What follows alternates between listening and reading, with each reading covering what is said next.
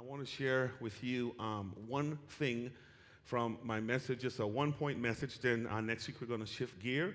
And um, I want to challenge as many of you as can to come out on uh, Wednesday morning, uh, Wednesday evening, so we can kind of flesh out some of the theologies that I'm going to share uh, this morning because you really don't have time to deal with a lot of that on a Sunday morning. So I just want to lay some foundation. And I know I'm going to, because we're a non denominational church, I know I'm going to say some things um, that may not resonate with your spirit, um, but we want to invite you to come out Wednesday and you can interact with me and um, ask all the questions you need to ask, and we're going to God that God would move and way. So let me just review briefly. Um, I need you to, to, to, lock into this this morning. Um, Brighton said, get in the ark. Um, once you get in the ark, I need you to know that you're safe when you're in the ark. Amen. Yeah. Turn to your neighbor and say, neighbor, we are safe in the ark. Come on, tell the other neighbor that. Say, other neighbor, you are safe in the ark. One of the biggest problems, and I had this question surface, uh, if you can bring this down a little bit, it feels hot to me. We, we, um, this Wednesday, somebody asked me, how do I know if I'm saved, and how do I know if I am a person to get in the ark or that God has in the ark, and am I safe? And I kind of shared that I wanted to, to table that until this morning. And I just want to address that one thing this morning um, so we can kind of hear what God is saying and doing in our midst, and we're going to move forth to allow us to go and be who He would have us to be. I'm one of those guys, I don't want to wait until I'm die, till I die to find out if I am saved or not. See, because that's too late, and I can't do anything about it. I want to be able to do something about my salvation while I have breath in my lungs. So I'm just going to say this up front. I am one of those individuals that believe in the eternal security of your salvation. And I'll say it in layman's terms and I'll explain, then we're going to go to the text. I believe that once you're saved, you're always saved, but I don't believe that that's a license to sin. I don't believe that because you're saved, you can live life anyway and do whatever you want to do and fool yourself into thinking you're saved. Because I'm going to say to you, when a person is saved, there ought to be something different about them. There ought to be a lifestyle change. There ought to be, come on, come on, come on, talk to me. Yeah, yeah, there ought to be, we, we ought to be different when we give our heart to God. So today, I want to begin the process of using this Old Testament um, if I could use the word metaphor of the security of salvation, to begin a, a, a, difficult New Testament theology and kind of talk about that a little bit so we can get to where God would have us to go. And by way of just brief review, um, you know, Brighton was reading, and I tell you, as he was reading, I, I heard him read something that I've read, read this story um, tons of times. Even, and for me, you know, I've been reading it for the past month. And I've been skipping over that Noah and his wife and three of his sons' wives went into the ark with him. And when he said it, I was like, wow, I didn't pay attention to that. You know, you read things and it just skip over. Come on, y'all.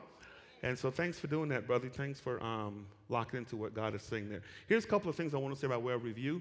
Number one, um, that's the wrong slide on that screen. This one is correct on the back screen. Um, so while they work on that, we must never forget that the Holy Spirit is the sealant when we're building the ark. And I'm getting ahead of myself because, I mean, jumping around. We reviewing, we looked at um, Genesis chapter 6, verse 14 last week. And what Genesis chapter 6, verse 14 says that when um, God told Noah to build the ark, he said to him, Seal it with pitch on the inside and pitch on the outside. And the connection I wanted to make with that really, really quick, that's important for what I'm going to share with you, if the Holy Spirit is on board, you're sealed. Are you with me? And don't miss the conditional clause that I'm using. If the Holy Spirit is on board, you're sealed. Okay? Um, it's not that you get saved and then you wait for the Holy Spirit to come on board later on. The moment you get saved, the thing that enables you to get saved is the fact that the Holy Spirit is on board. Is that all right? Now, go with me to Ephesians chapter 1. I'm just going to read some scriptures and challenge you to go home and flesh it out, and then we're going to walk and allow God to be God in our midst. And I'm going to be moving as we kind of talk to this. Ephesians chapter 1, and um, it's a lot of reading, but let me um, look at verse 3 of Ephesians chapter 1. Ephesians 1 and 3. If you're there, say amen. Uh, that wasn't enough amens. There's more people in here. Uh, give them a chance to get there. If you're there, uh, let me try. If you're there, say amen. Now listen to what it says. It says, Blessed be the God and Father of our Lord Jesus Christ. And from the ESV, who has blessed us in Christ with every spiritual blessing in the heavenly places. Verse 4 um, Even as he chose us in him before the foundations of the world. Come on, say, God chose me before I was born. We'll talk about what that means later, okay? And that we should be holy and blameless before Him. And then it says, in love, verse 8, He predestined us for adoption as sons through Jesus Christ. Now re- repeat after me. Say, I am adopted, I am adopted as a child of God. Now, this is assuming you're saved. I want y'all to hear me say it. It's assuming, I'm making some assumptions here, that you have a relationship with Christ. You have been adopted as a son of God. I don't have time to talk about that, but I'll explain it. According to the purpose of his will, meaning that God had a reason for what he did, to the praise, verse 8, and the glorious grace with which he has blessed us in the beloved. Verse 7 says, uh, verse, verse 6, I'm sorry. In him, in him, we have redemption through his blood, the forgiveness of our sins or trespasses, according to the riches of his grace, which he lavished in us in all wisdom and insight, making known to us the mystery of his will according to his purpose, which he set forth in Christ as a plan for the fullness of time to unite all things in him in heaven and things on earth. Now look at verse 11. In him we have obtained an inheritance, having been predestined according to the purpose of him who works all things according to the counsel of his will so that means your crazy stuff that you go through, God fixes it up so he can get the glory out of it. Now look at verse 12. So that we who were the first to hope in Christ might be to the praise of his glory. I love verse 13. In him you also, watch this, when you heard the word of truth, the gospel of salvation, and believed in him, you were sealed. You see that word seal? With the promised Holy Spirit. Uh, wow, mic is changing too drastically, guys. Um, who is a guarantee of our inheritance until we acquire possession of it to the praise of his glory. Let me read verse 13 because that's paramount and it's a lot of meat in here. In him, you also, when you heard the word of truth, the gospel of your salvation, and believed in him, look at, look at the pitch. You were sealed with the promised Holy Spirit. Now, the reason he did that, look at verse 14, is to guarantee our inheritance until we acquire possession of it to the praise of his glory. Here's a short version of what that means. When you decided, I'm going to give my life to Christ, God took a portion of him, namely the third person of the Trinity, and he deposited that person on the inside of you in the form of the Holy Spirit, and he issued the instruction to the Holy Spirit that lives in you keep him till I come back. Yeah. Let me be gender neutral. Keep her till I come back. All right, you with me? So here's here, and I'm gonna be saying some crazy things. Here's what you can't do. Hey, God, take your Holy Spirit back. I don't want to be kept. Because the Holy Spirit's the job number one is to keep you. He, because I'm not going to lose anybody who the Father gave me, so I'm going to put my Spirit in you. And the purpose of the Spirit residing in you, a whole lot of things, but to guarantee that they're going to make it in. Man, you got to track with me on that. Does that make sense, guys? Are you with me? Okay? We'll flesh this out. We'll flesh this out.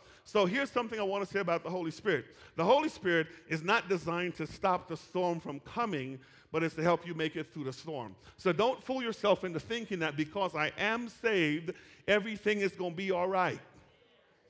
Come on, y'all. Life is still going to happen. The storms of life are still going to come. One of the mistakes we make when it relates to our evangelistic approach, we go tell people that if you get saved, all of your life challenges are going to be fixed. Stop lying to folk. The Holy Spirit is not designed to prevent the storm, but it's designed to keep you through the storm. If I were to jump ahead to the book of Noah, you'll notice that even though the boat was sealed with pitch in and out, the storm still came. Are you with me? My hope is not in the world, it is in my Lord and Savior, Jesus Christ. Come on, say amen if you believe that. Okay?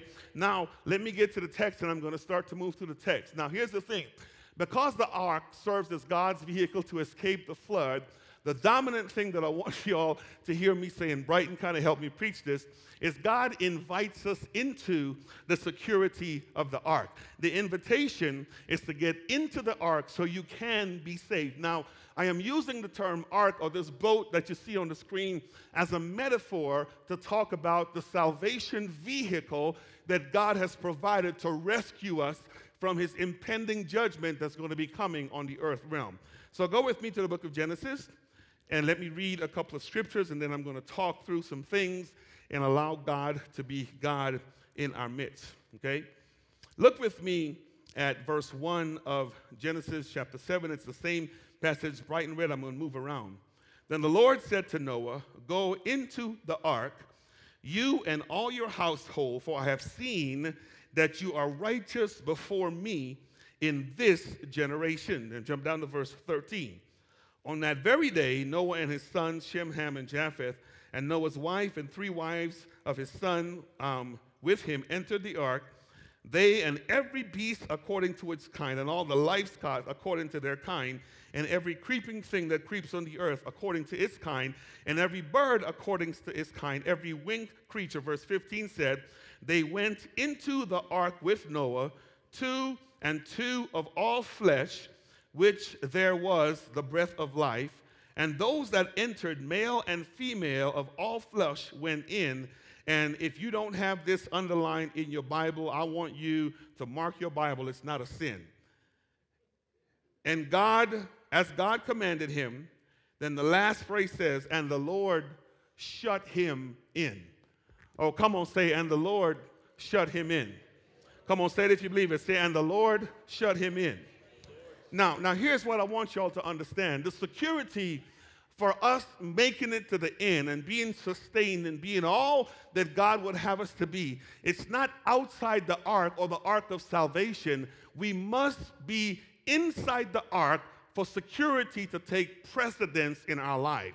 Now, let me say it this way. What, what that means and what I'm trying to communicate to you is that if you have not yet accepted Christ in your life as personal Lord and Savior, the end is not guaranteed to you.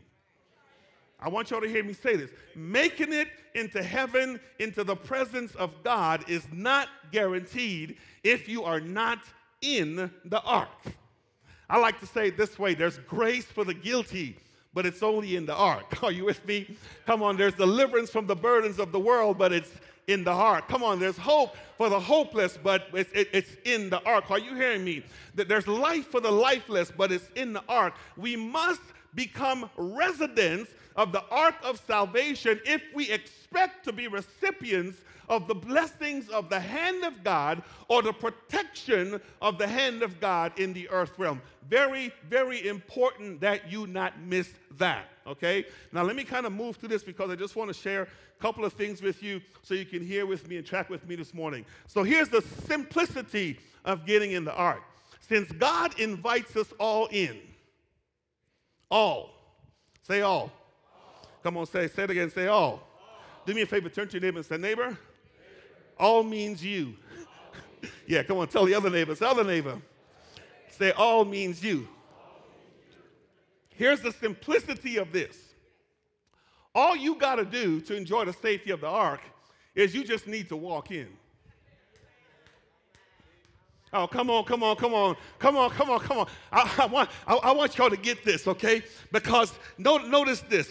Uh, God was the one, and there's a whole lot of theology involved in this, is that you all you need to do is, is while the door is open and God is saying to enter the ark, or God is saying, come into relationship with me, all we need do is walking. Don't make the mistake of fooling yourself into thinking you've got to stop doing what you're doing before you can walk in. Just walk in with all your foolishness. I need somebody to hear me this morning. Don't think you've got to come down off this high before you walk in. Walk in as high as you can be. The door is open. Come on, just walk in. It's not how you get in the ark that matters, but it's what happened to you while you're on the inside of the ark. Oh, come on, come on, come on. That makes all the difference in the world. The problem with the church is we've been too busy trying to clean folk ark, so clean folk up so they can come in the ark. When Jesus on the cross of Calvary paid it all. I wish I had somebody on here. He went to Calvary to die for my sin. He paid the price. He died for my sin. He died for your sin. So he says, Whosoever will, let him come. It doesn't matter what you look like right now, just come.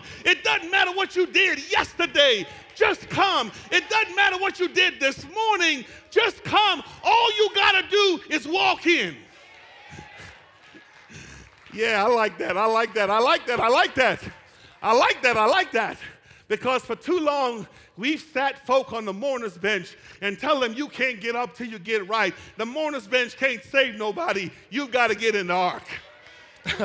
See, only the old folk would know what I'm talking about. Young people don't have a clue what the mourner's bench is. But listen to what that means, young people. You can come out the club last night and come to church this morning, and as long as the door's open, all you've got to do is walk in.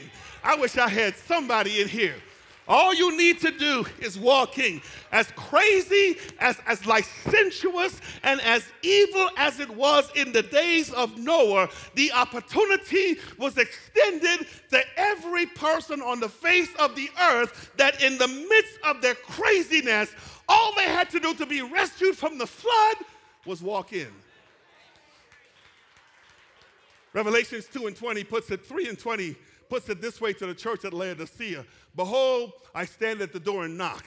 If anyone hears my voice and open up, he says, I'm going to do what? Come in and do what? Sup with him and him with me. Here's what that means. If you want Jesus to come in, all you got to do is open the door, and here's what he's going to do. He's going to walk in. And here's what sup with me means. You give him your pain, and he gives you joy. Come on. You give him your heartache, and he gives you peace. You give him your marital challenges, and he teaches you how to love like only he could love. But you got to let him in. You've got to be in the same vicinity. We must be in the ark of protection with him. Come on, somebody in here say, just walk in. Come on, say it again. Say, just walk in.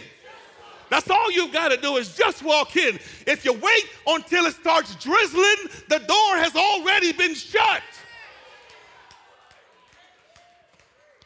And that's the problem with a whole lot of us.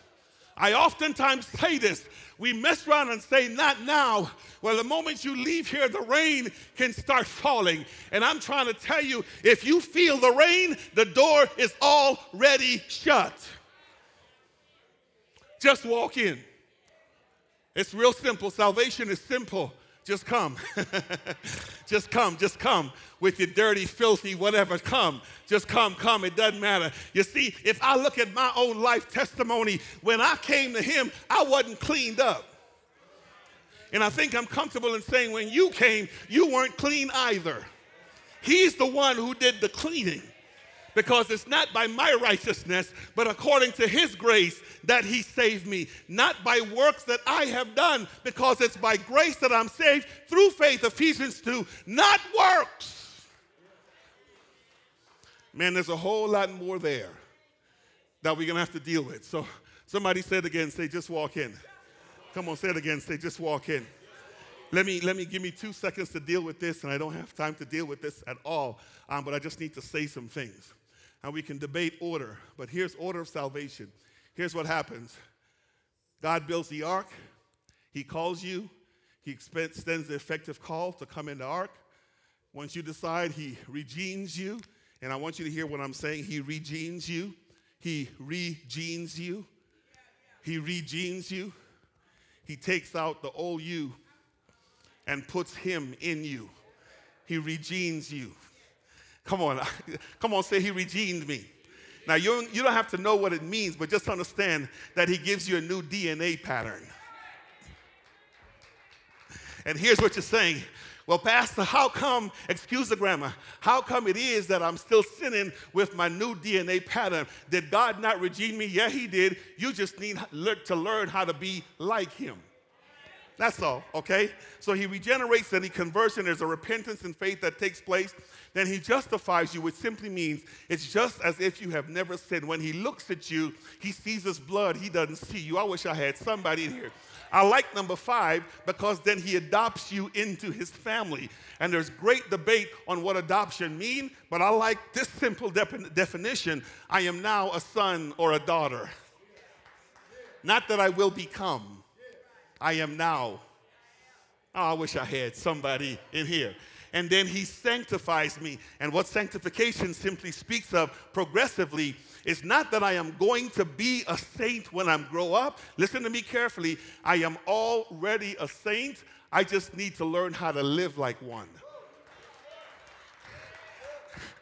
Lord have mercy. You want to be here on Wednesday. And then seven, I love this perseverance piece because he takes me, and here's what I was saying to in Ephesians He puts his spirit in me, and he keeps me, guaranteeing my salvation until the day of redemption, such that, number eight, when I do die, number nine, I am guaranteed glorification. Okay? I need to do that quick. This place ought to be packed on Wednesday so we can kind of talk to this, okay? That's a lot. And I know it might not make sense to a lot of you. So here's the thing. So once we walk in the ark, here's what I need you to know God shuts us in. I already said that. He shuts us in. Come on, say it again. Say, He shuts me in. Now, here's why I wanted you to see that. A couple of things, and I have 13 minutes to do this. Shutting us in means three things. Number one, He provides a head of protection around you. Oh, I should have got at least three more amens. Shutting you in means that he provides a hedge of protection around you. Real quick, jump over to Job chapter 1. Real quick, real quick. Y'all hurry up, hurry up. Job chapter 1, verse 9. Yeah, go there real quick. Job, not, Job 1, and, and let me read so we can provide some context there. If you're there, say amen. amen. It says here now, Look at verse 6, just for context, verse 6. Yeah. Now, there was a day when the sons of God, we dealt with that Wednesday, came to present themselves before the Lord. And Satan also came among them. And the Lord said to Satan, From where have you come from? And Satan answered the Lord, From uh, going through to and fro in the earth, and from walking up and down in it. And the Lord said to Satan, Have you considered my servant Job. There is none like him on the earth. And look at the character traits blameless, upright, who fears God. And he turns away from evil. I want y'all to hear the details of that. Then Satan answered the Lord and said, Does Job fear God for no reason? And look at this. Have you not put a hedge around him and his house and all that he has on every side? You have blessed the work of his hands, and the possession and his possessions have increased in the land. Come on, say a hedge. Now, here's the requirement for the hedge. Let me tell you what that means. Here, here's Satan showed up, and, and, and let me, I'm going to say this loose because I'm going to flesh it out Wednesday. Satan shows up to God's business meeting, and God said, Who invited you? I invited myself. Why are you here? Because I have everybody in the earth in check. I got them doing what I want them to do. All I need to do is flash a female across the screen for the men and click here. You won't believe this, God. Christians, click. Y'all don't got quiet. All I need to do is just tempt them with anything, and they're doing it. So I have them on check. People without hedges. God. Have you tried that on Job? It won't work with him. Why? Because you put a hedge around him. So, why'd you put the hedge, God? Holy, blameless, upright, and shuns evil. And because he's making an intentional choice to follow me, I'm going to protect him even more. Y'all, y'all. I said this up front. Salvation is not a license to sin. I said that up front. But I said the saved is protected and they're secure. So I'm not saying that we will not sin. We will sin. Are you hearing me? But when we confess our sins, we don't give the hedge leverage. The hedge stays down as long as we keep confessing, confessing, confessing, confessing. So let me tell you what this will look like. As opposed to you having that thing come across the internet and you click because the only way you can follow that trail is that you've got to make the intentional choice for God to raise the hedge for you to come out so you can follow the. I wish I had. Y'all not hearing me. Y'all not hearing me. Y'all not hearing me. You're not hearing me. Because if you don't click, you'll bump into the edge and you can't get out. I wish I had somebody in here. Come on, is this making sense? So here's what he says, and I'm not talking about salvation here. I'm talking about the protective hand of God. God will protect you such that if we make the intentional volitional choice to obey him, no demon in hell can access you because God will protect you. So here's what he says it in Psalm 51. Thy word have I hidden in my heart that I might not sin against you. I stay with the hedge as long as I obey God. I keep the hedge down as long as I keep confessing my sins. So, being shut in means that God provides a hedge. So, by default, the moment you get saved, kluk, hedge. Just learn to keep it down. Oh. And what sanctification is? The longer you stay saved and the more you become like Christ, the more the hedge stays down. Baby Christians, we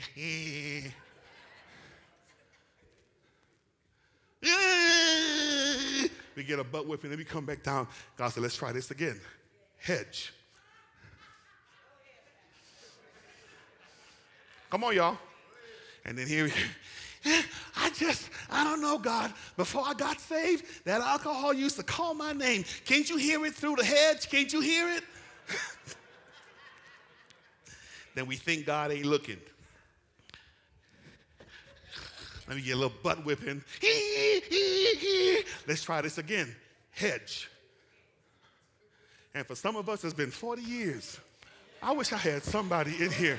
Yeah hedge up, hedge down, hedge up, hedge down, head. Come on, y'all. Don't act like it's, I'm not talking about you. I used to be like that, but I've grown to the place where I like the protection of the hedge. I like being in the protection of God. Come on, come on. So it's not so easy for me to give in to the enemy. I'm not saying that I don't, but I know when I mess up to confess my sin so the hedge can stay in place. Are you hearing me? Number one, you got a hedge. So here's the application keep your hedge down. I like it. Number two, there's no way for you to open the door. I'm not talking about hedge now. I am not talking about hedge. I'm talking about salvation. Okay? There's no way for you to open the door to let yourself out. God shut him in. And does anybody in here know that when God closes a door, Let me put it this way. Grandma would say this way there's no somebody on the face of the earth more powerful than God that they can undo what God did. Nobody. Nobody. Not even your free will. Man, I know that's harsh. I know that that is harsh. Let's go to John 10. Let me give you one scripture, and then I'll say one more thing, then I'll stop. Is this helping somebody? Good. John, John, John 10. Let's go here. John 10. Okay? Say amen if you're there. Well, let me give you, I cheated. I had, I got a Bible. It's got like 20 of these things. Yeah. And you just kind of drop it where you got to go and click. And it's color coded too. So I cheated. I cheated. Yeah. John 10, go to verse 27. I want y'all to see the extremity of this. And there's a million of other scriptures we can talk to this about. You guys are there? Verse 27 says, My sheep hear my voice, and I know them, and they follow me. Verse 28, and I give them eternal life, and they will never perish. Stop. Look up at me. Look up at me. Look up at me. Say, My sheep hear my voice. One more time. Say, My sheep hear my voice. Here's what this means when you pick up the hedge and you sneak out, that thing that God put in you to keep you, here's what it'll say You better get back in the hedge. That's what it'll say. Come on, y'all. And if you are a sheep, okay.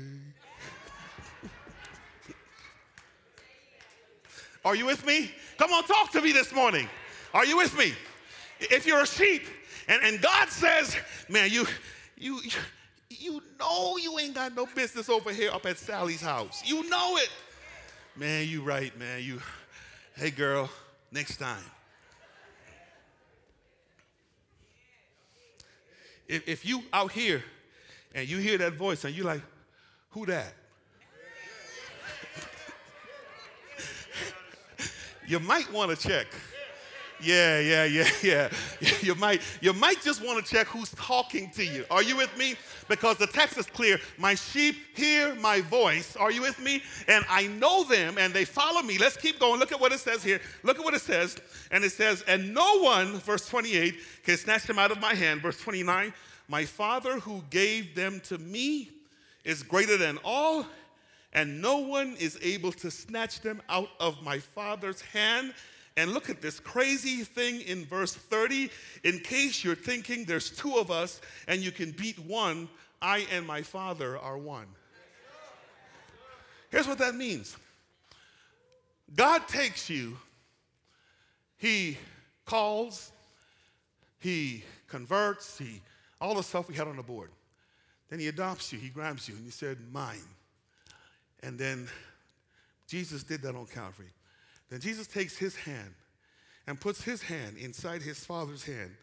And before they can even get to you, the enemy, he dares the enemy, open daddy's hand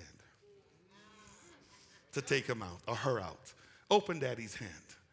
And I don't know about you, but last I checked, I said this before, no one is more powerful than God to open the hand of God and to take a saint of God out of the hand of God. So here's what I'm saying. If you are a saint, if you've given your life to Christ and you're saved, you are safe in the ark. Are you hearing me? I'm not talking behaviors. I'm not talking lifestyles. That's a whole nother message. We can talk about that. But I want you to hear me say this morning you are safe in the ark. You're going to make it in. Are you hearing me? Okay, very, very important that you not miss that, okay? And then then then then then we're going to wrap this up. And i'm tempted to say one more piece but i won't go there. I've got to stay focused. Here's what the next one says. Three things. The third one is this. If you're in the ark and god shut you in god obviously has plans on taking care of you as long as you stay in the what? I like that. I like that. Paul in writing to the church at philippi says this and my god shall supply all my needs according to his riches and glory by Christ Jesus. Okay? Now, don't make the mistake of defining needs with wants. Don't, don't, don't make that mistake because there's a whole lot of things that I want that God doesn't feel that I need. He's daddy, okay? Now, the reason I'm alive today is because I'm in the ark and God took care of me. The reason you're alive today is because you're in the ark and God took care of you. Come on, are you hearing me this morning? So here's how he says it Cast all your cares on him because he cares for you. Now, let me re emphasize a point that I stated earlier being in the ark does not stop the storm from coming. So don't fool yourself because I'm in the ark. I'm going to pray for the storm not to come. The storm might come, the storm probably will come, but being in the ark and the protection and the provision of God is to give us strength to make it through the storm because growth comes from going through, not from avoiding. Last illustration, I'm going to stop. You take a little child and you tell him, don't touch the stove. Child going to want to know why. And you can tell him all day long, don't touch the stove. Child want to know why. Then one day, that stove to be on and the child to reach up there and accidentally touch it. I'm guaranteeing you, for the rest of that child's life, you never have to say to that child, don't touch the stove. Are you with me? Are you? And, and, a lot of us in here, we know what not to do, not because God told us not to do it, it's because we've been through the storm and He helped us make it through the storm. And on the other side of the storm, we know what not to do because the stove was hot and it burnt us and we have grown and we know when we see that thing, girl, give me a screwdriver. I got to screw this hedge down because there's no way on God's earth I'm coming out to do that. I wish I had somebody in here. And they're designed to strengthen us, to make us strong. But hear me say this, and I'm done. Come on, Pastor Kotane. You're safe in the ark. You're safe in the ark. Please also hear me say salvation is not a license to sin. It's not. It's not.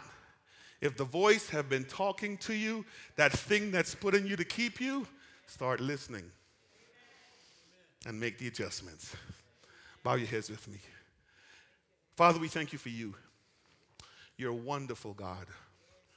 You're gracious, you're mighty, you're powerful God. And so we give ourselves to you. We bless you, we magnify you, we adore you, Lord. And so, God, as your word has gone forth, I just sense, Lord, that there's somebody in here that did not know that they were safe in the ark and might have been living all crazy, difficult, but God, you're speaking to them to bring them to a relationship with you. So there's healing in the ark, there's forgiveness in the ark, there is love in the ark. So, God, as we take a moment to just extend this altar invitation, I am praying that if somebody's here that don't feel loved, that felt that they had blown it so bad that God simply could not let them back in, let them know that you care. Let them know that they belong to you. Let them know that you've shut them in. So, Holy Spirit, be God here. Be God. Be God in our midst, Lord. As we give this to you, in your name we pray.